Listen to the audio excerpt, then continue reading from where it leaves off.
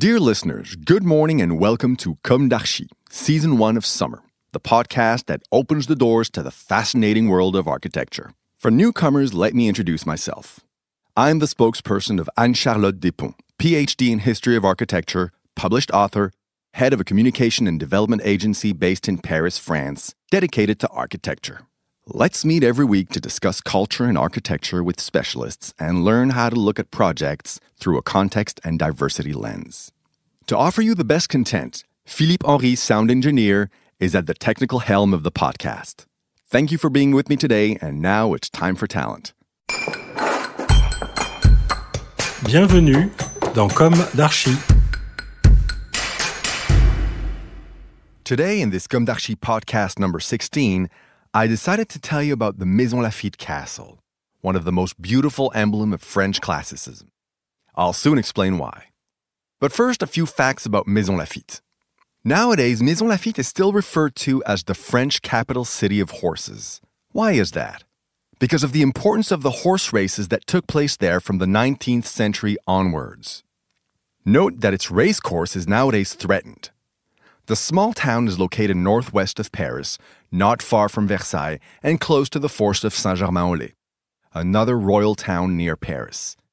It has nearly 24,000 inhabitants. It is still a pleasant place to live, despite soaring property prices. Although its origins are Gallo Roman, Maisons-Laffitte, or rather Maisons-sur-Seine at the time, took off as early as the 11th century in the form of a fiefdom. But it was not until much later in the 17th century that the master of the seigneurie, René de Longueil, who had responsibilities in the Parliament of Paris, decided to build a large castle to receive the king.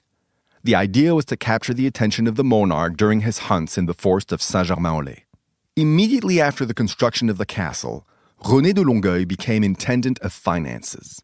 Related to the castle's construction or not, what I know is that the king, who was none other than Louis XIV, slept there only one night at the end of a hunt. Is that all? Well, back then, everything was slower and every event meant a lot. Today, we perceive the magnificence very differently.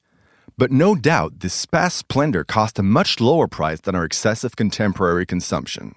And what a pleasure to contemplate its constructive intelligence. In any case, Francois Mansart, great uncle of the Versailles architect Jules Hardouin Mansart, designed and then built from 1642 to 1650 the masterpiece that would serve as inspiration for his nephew for Versailles.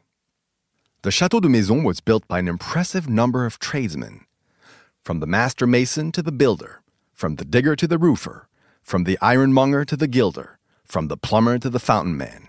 Each one brought his stone to the building to dig, earthen, pave, cut, raise, saw, assemble, cover under the authority of the architect.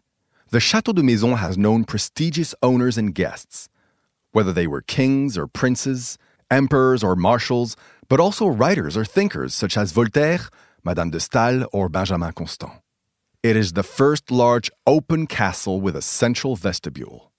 As the medieval castle fades away, the modern castle is born. Staged in its domain, the Chateau de Maisons belongs to a time when classical and Baroque aesthetics coexisted. If the classical order predominates by a whole play of balance and symmetry between empty and full, by references borrowed from the vocabulary of ancient architecture, the Baroque is nevertheless present by multiple winks, illusions, trompe l'oeil, art of appearing. The splendor of the monument was underlined by Jean Jacques Blondel, professor of the Royal Academy of Architecture at the end of the 17th century, who paid a tribute to Francois Mansart. I quote, We dare to say it here.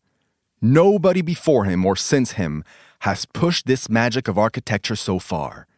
What admiration, what charm! Aren't we in love with the appearance of this masterpiece? But also, it is by the thoughtful study of this admirable work that we have learned. We admire the solidity without weight, the precision of the device without dryness, the expression of the profiles, the perfect union of architecture and sculpture, the great proportion of the attic with the facades. End of quote. In the center, the fence is replaced by a ditch, the space thus created clearing the view. The multiple protrusions of the dwelling make you forget that it is compacted. A masterpiece that forebodes numerous perspectives, in classical European architecture.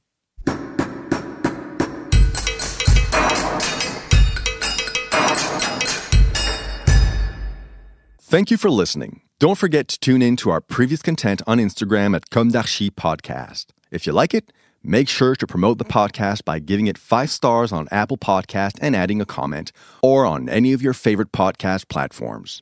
And don't forget to subscribe and listen to all of our episodes for free. See you soon, and until then, take care of yourself.